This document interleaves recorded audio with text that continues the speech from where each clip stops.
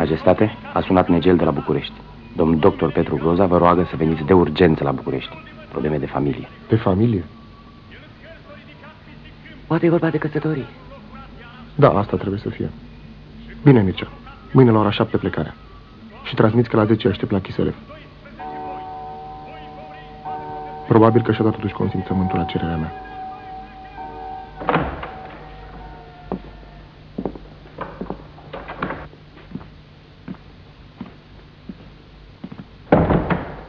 Majestate.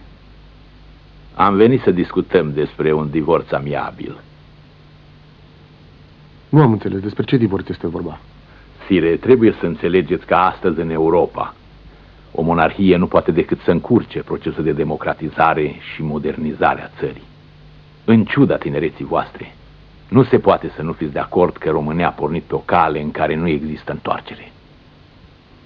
Dar ca să fiu mai clar, vă rugăm să-i scăliți acest document.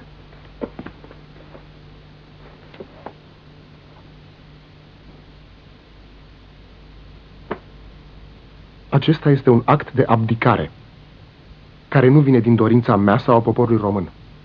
Și este un abuz pe care încercați să mi-l impuneți. Nu voi stăli niciodată un astfel de document.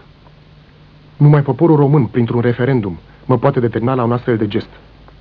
Încercarea dumneavoastră încalcă Constituția și nu respectă Parlamentul României, singurul care poate confirma o hotărâre luată de popor. Parlamentul României a fost convocat astăzi după amiază. Avem și invitații. De la Academia Română, Uniunea Scritorilor. Dacă e nevoie, scoatem poporul în stradă. Până la ora 3 vom fi aici. Dacă mai puneți în balanță și cei o mie de studenți arestați, cred că ar fi mai înțelept din partea măriei voastre să-i scăliți. O simplă formalitate. Dacă vreți, puteți să plecați din țară. Aveți patru zile.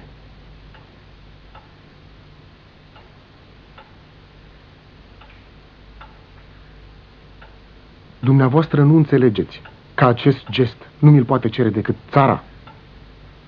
Țara a fost învățată să vă iubească. Acum o să învățăm să ne iubească pe noi.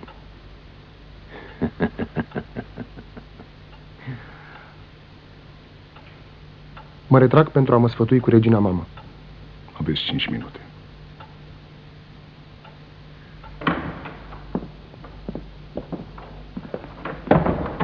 Majestate, toate firele de telefon au fost tăiate. Gărzile au fost arestate și înlocuite. Se petrece ceva. Mi-au cerut abdicarea. Da, poate să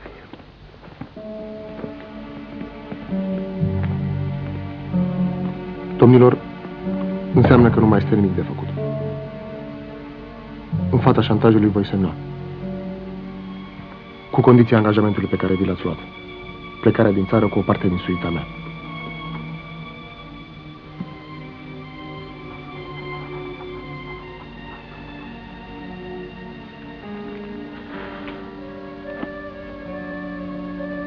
Ia puneți mâna aici. Un revolver? N-am vrut să mi se întâmple și mie ce i s-a întâmplat lui Antonescu. Doamnă, hai. Majestate.